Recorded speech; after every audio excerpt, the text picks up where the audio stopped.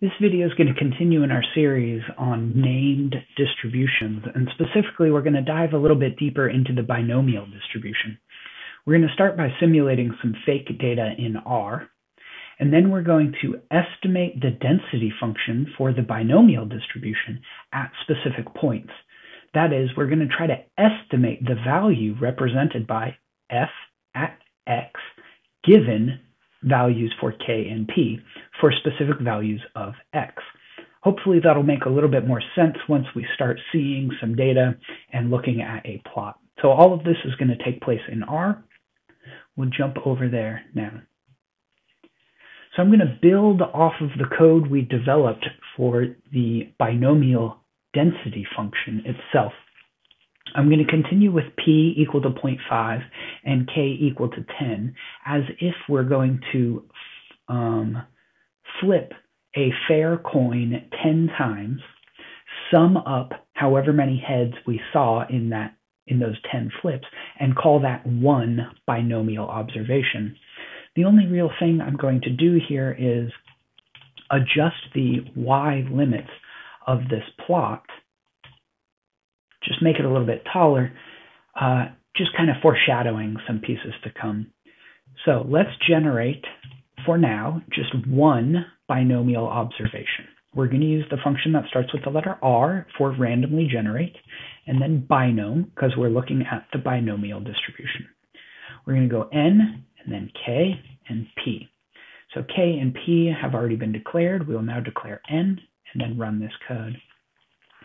And indeed, we generated one binomial observation. That 5 down there in the console is saying we observed 5 heads out of 10 flips. And according to the density function, which we have plotted here, 5 is the most likely value to show up amongst all the values this binomial observation could take on. Let's generate some more data. We'll just go again. 4. 4 is the next most likely value after 5 and equal in uh, likelihood to 6 to be generated. So let's try again. 5, good, we've seen that one. 5, 5 comes up a lot. 6 is, again, most similarly likely, like 4. Okay, you know what we're going to have to do? Now that we've generated single binomial observations, let's just generate a lot of them, say 13. Aha, here we go. And these are some good values too.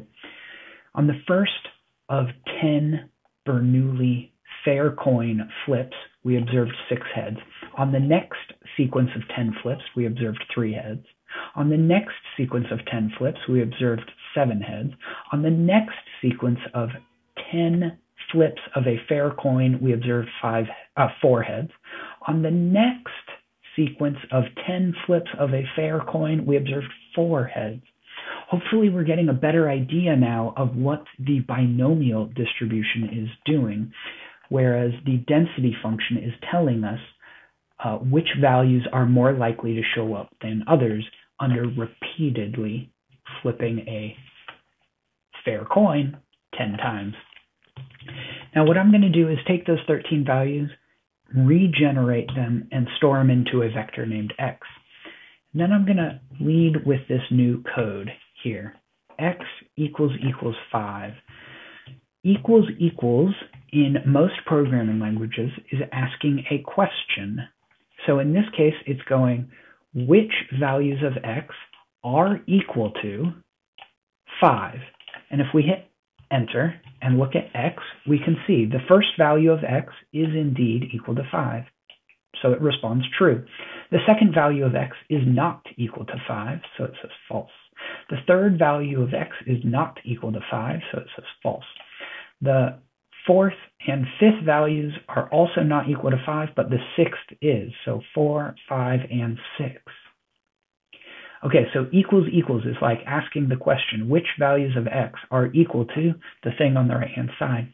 Now, what's cool about R is trues and falses are essentially ones and zeros. So you could add up all those trues and falses.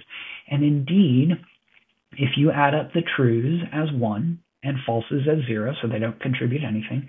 We see one, two, three, four, fives, and that's exactly what we get. Now, if we take that sum and divide it by how many observations we have, then we can estimate this probability. And in fact, that's exactly what the mean is doing for us. It is allowing us to estimate f at 5, the density function of the binomial distribution at the value 5, given p is equal to 0.5 and k is equal to 10. So you can see 0.3 is pretty close to, what is this? I don't know, maybe about 0.25 or so. Okay, so let's try a challenge piece of code here. You ready for this? If this is estimating, let's call it f hat at 5, given k and p, what I'd like to do is be able to come up with a vector of values f hat for all values that x could take on. So I'm going to start by creating f hat, which is going to repeat 0, uh, k plus 1 times. I'm going to repeat 0, k plus 1 times, to say that x could take on 0 to 10. That is 11 different values. So I'm going to develop some code. It's going to be fairly new to most of us. Uh, but as this video progresses, remember, after you evaluate a line of code that is particularly challenging to you, go down into the console and print out that code so you can see what is happening at each step along the way. So this next one, I'm going to build up in pieces. We're going to start with a table of the values in X. And this is a table representing the values that X has taken on and the number of times X has taken on those values. So just like we saw before, 5 showed up four times. And in fact, 6 shows up two times. And you can double check that if you want. So let's see, there's one, two sixes showing up just coincidentally right next to each other. So I don't want just the counts of the values. What I want are proportions of those values. I want all of the counts divided by this number of observations, 13. So I'm going to store that into a not cleverly named variable, temp, and run it and then print it out if you need to. The next line is a little bit of magic in the world of R. I'm creating an index that won't obviously have a lot of purpose just yet, but hopefully it will soon. So this next line of code is also some R magic, but I think once we take all of these pieces together, let's see, we have temp, idx, and f hat. What we essentially have done is taken all of these proportions. You can see here's the proportion we calculated originally that estimates the density function at the value 5. It just shows up here. We've essentially repeated this calculation, the mean of x equals equals some number, across all the different values that x has taken on. And then by taking the indices associated with those values, we are storing them into f hat. So you can see into the one, two, third position, that is in the first element of IDX, at the third position of f hat, we are putting the first value of temp. Okay, you ready? We'll do that again. Into the fifth position of f hat, that's what this notation is saying, into the fifth element of f hat, store the second value of temp. And into the one, two, three, four, fifth element of f hat, store the value of temp. Okay. And then at the sixth position of f hat, we want the value associated with 5. Now we've got to have this plus 1 here If you're wondering why into the sixth position we store the value associated with 5, that's because of this plus 1. Remember that x can take on all the values from 0 to 10. So this plus 1 is accounting for the fact that x can take on a 0 value. Okay, so now that we have f hat here, we can add to our plot across all the values that x can take on, the vector of x, uh, f hat, and we want to color the points orange. So you can see what we've done here is x has no zeros in it. So we've estimated f at zero to be basically zero.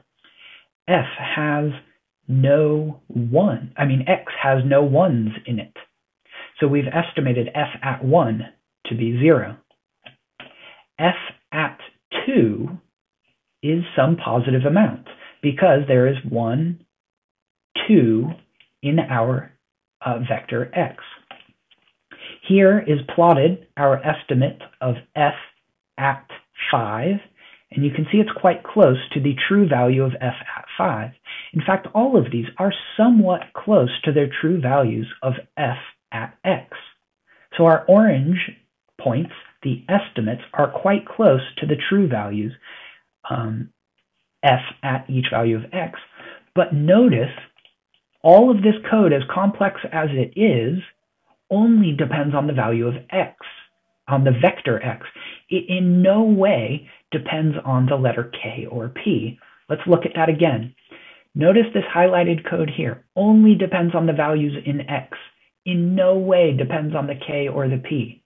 This is what the world of statistics does. It estimates these values, like p in particular, using only the data using only the data, only the values of x show up in here. And from it, we can estimate the density function at each value of x.